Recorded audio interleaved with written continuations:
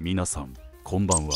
こんにちは。おはようございます。ルートレス山崎です。今回の動画は二段式バードバスにさらなる改良を加え問題解決に挑んだという動画です。よろしければ最後までお付き合いくだされば幸いです。このポタポタと雫が落ちるバードバスですが一方コックから出たシリコンチューブが水面の上に出ていることで水滴をポタポタと落とすことができるのですが先ほどご覧いただいたように野鳥さんたちがシリコンチューブを止まり木代わりに使ってしまうのでシリコンチューブの先端が水中に入ってしまって困っていました。ただ先端が水中に入っていてもサイフォン効果で水は出ているのであくまで見た目の問題なんですけどそれとは別にこれは問題点というわけではないのですが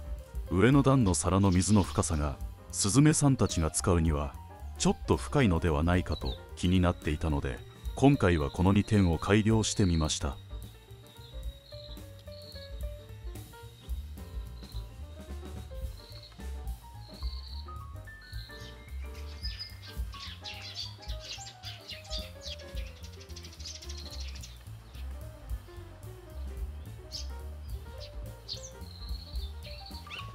まずは簡単に解決できる問題からやっていきます。改良点の2つ目の上段の皿の水の深さをスズメさんたちの好みに合わせる改良です。一般的にバードバスに適した水の深さは水深1センチから2センチと言われています。改良を加える前も水深は2センチもない深さだったのですが以前スズメさんが一度だけ水浴びしてくれた時の水の深さは1センチくらいでしたのでだいたいそれくらいの深さになるように皿の側面に小さな穴を開け水の深さが1センチ以上になったら側面の穴から下の皿に流れ落ちるように改良をしました。こういう改良を加えるならプラスチック樹脂でできた皿が適していますね。まずはお試しで直径3ミリ程度の穴を開けてみました。私の目論見通り水深が1センチを超えたら側面に開けた穴から水が排出されています。ただちょっと小さかったように感じたので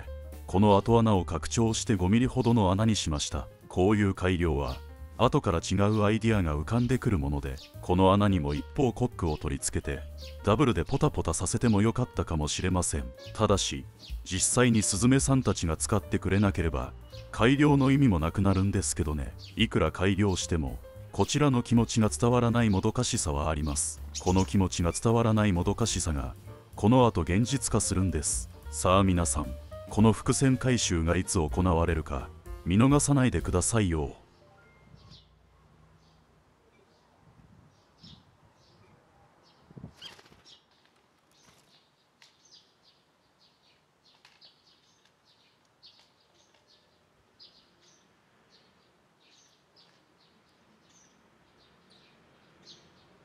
さてここからが一番の問題点であった。一方コックから出ているシリコンチューブを野鳥さんたちに泊まり木代わりに使われてしまう問題の解決に取り組みます。すでに解決策が画面に映ってしまっていますが説明させてください。あれれ。ちょっと待ってくださいよ。ええ、四十から三それはないんじゃない。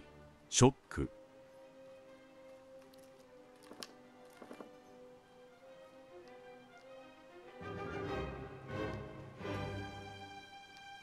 皆さん四十からさんの胸元あたりにご注目ください。なんか濡れているように見えませんか？私の見間違いかと思いましたが次に現れた立派な黒ネクタイのオスの四十からさんも明らかにびっちょびちょに濡れています。まさかこのいい天気に局地的に雨が降ったとは考えられずたとえ雨が降ったにせよ胸元からお腹にかけて濡れることはないと思うのです。ということは君たちどこかで一っ風呂浴びてからピーナッツを食べに来たよね。せっかくバードバスを作ったのにショックですが仕方ありません。人間が思ったように気持ちが伝わらないのは当たり前ですよね。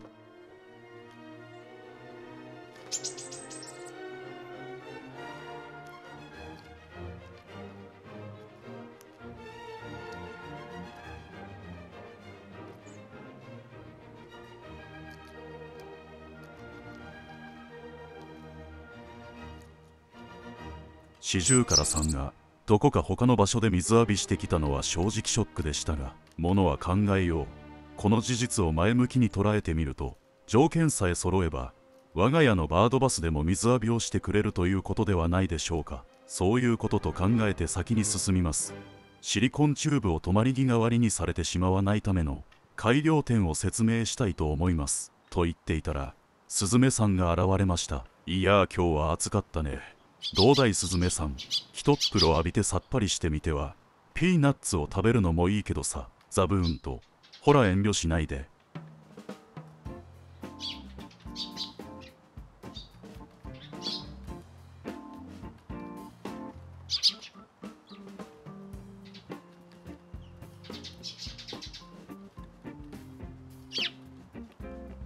スズメさんご一行様ご案内。ずずずいと奥のバードバスまでお入りください。ここはお風呂の遊園地。なんてったって釧路市。行ってみたいなバードバス。バードバスとスズメさんたちに宣伝してみたものの依然として誰も入ってくれません。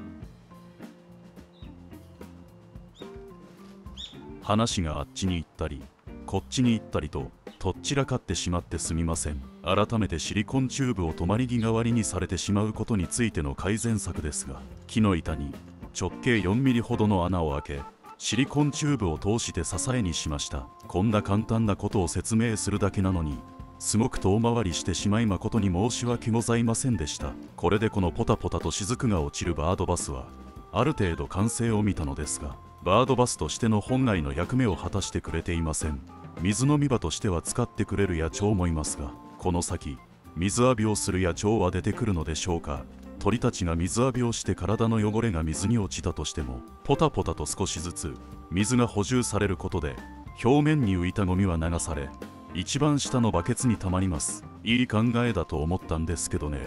誰も使ってくれなければただの水たまりです。この画期的なシステムを備えたバードバスの全てを包み隠さず皆様に公開したいところですが現状ただの水たまりではお恥ずかしくて全部を公開できません。YouTube でよく見る野鳥たちが水を跳ね上げながら楽しそうに水遊びするバードバスになったら全貌を公開しますのでそれまでは温かい目で見守ってくださいませ。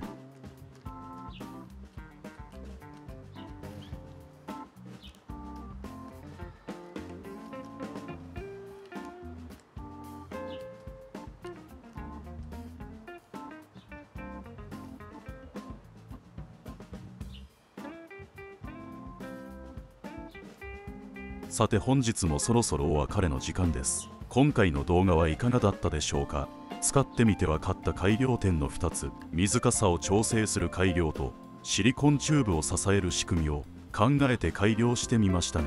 いろいろとやってみて一番の問題点が浮き彫りになりました。それは誰も水浴びしないこの水たまりを果たしてバードバスと呼んでもいいのかという問題です。もしかするとこのバードバスに対する私の自信のなさが疑心暗鬼になりいろいろといじくり回したことにより鳥たちが警戒してしまっている可能性もあるのではないかと思い始めました。私は生来短気な性格で待つというのが苦手な男です。その性格に拍車をかけたのが長らく秒単位の仕事をしていた時期がありミスをすれば1秒遅れると多大な損失が出てしまう恐れがあるので常に行って先の行動を心がけるという毎日でした。それが今でも体に染みついているのでしょうね。とにかくせっかちなんです。野鳥相手にせっかちは禁物ですね。反省しております。今日も長々とお付き合いいただきありがとうございました。もしこの動画が気に入っていただけたらグッドボタンチャンネル登録よろしくお願いします。それでは最後に